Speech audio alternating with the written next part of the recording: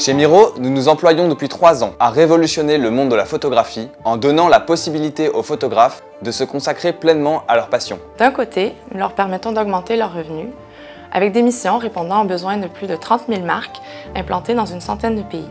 De l'autre, nous leur fournissons les outils leur permettant d'améliorer leur vie professionnelle. Miro, c'est aujourd'hui la première plateforme de photographie à la demande dans le monde, mais aussi et surtout le leader mondial de l'intelligence artificielle dédiée au traitement d'images. Nous sommes aujourd'hui 700 collaborateurs et d'ici la fin de l'année, nous devrions être plus de 1200 à travers le monde.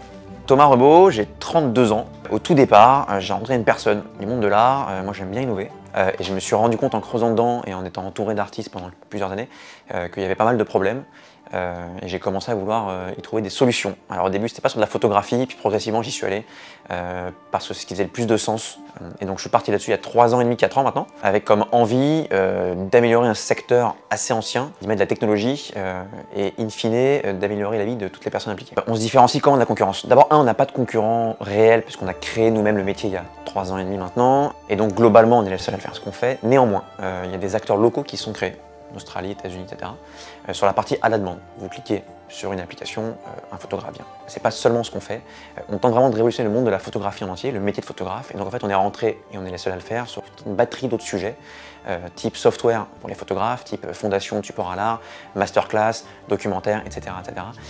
et en cela, cette façon de concevoir le métier de la photographie, on est vraiment les seuls à le faire.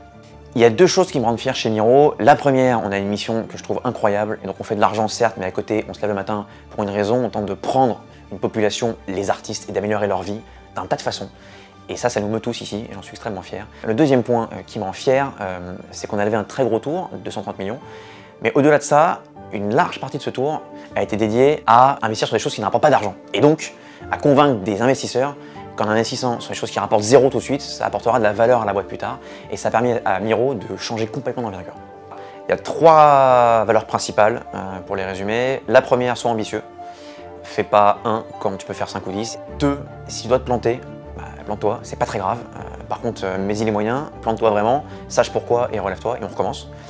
et trois, mets du fun dans ce que tu fais, amuse-toi au boulot. Donc on l'a appelé Make Work Play. Amuse-toi au boulot, je pense que la meilleure façon d'être efficace et bon dans ce que tu fais.